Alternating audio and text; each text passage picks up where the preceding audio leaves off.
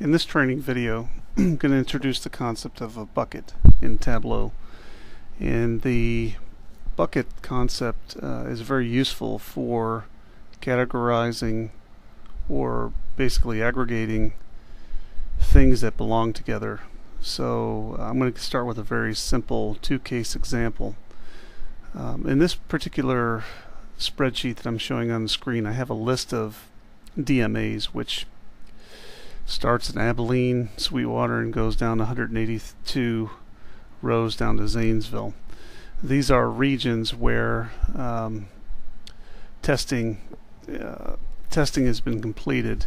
Some of these DMAs have been tested and other, others haven't been tested. And so in column H here I have a list of tested DMAs. And that list is 50 DMAs long, 50 out of the 183.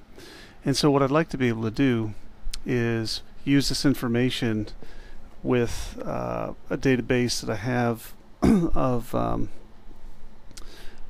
say few uh, volumes of something sold.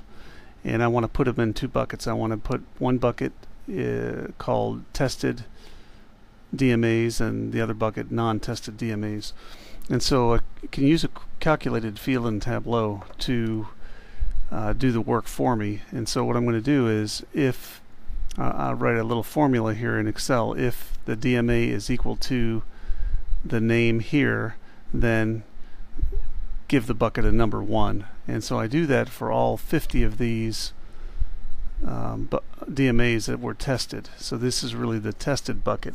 I'm going to assign it number 1. And if if you're not one of these DMAs, then just send it uh, number 0. So the untested bucket will be 0. So this is just a big if-then-else block that's done with a macro in Tableau, I mean in Excel, and I'll just copy this and paste this formula, this calculated field formula into Tableau.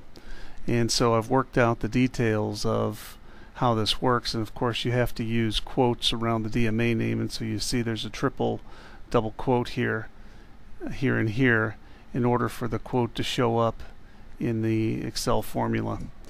So if I copy this set here and switch over to Tableau.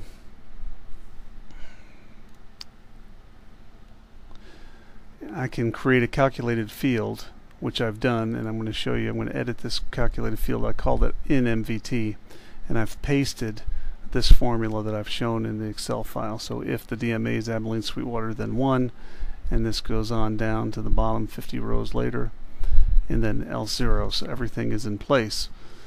So I can take that column or take that calculated field put it in the dimension column because it's either one bucket or the other so I don't want it to be treated. It'll come in naturally as a measure because uh, the number that's being returned is a 0 or 1 but actually I want it as a dimension. So I'll just drag that and drop it on the table.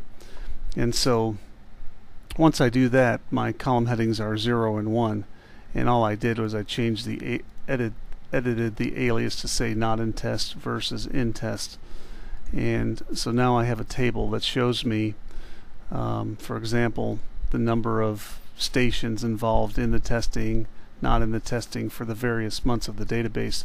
This database is about 5 million lines long so the aggregations are happening um, for me automatically using this particular bucket set so it's a very quick way to create um, a multi set or a multi-component bucket. So I could have in this case I have two buckets in testing and out of testing but I'm going to show in um, in another video tied to this one how you can use buckets to set up a time analysis.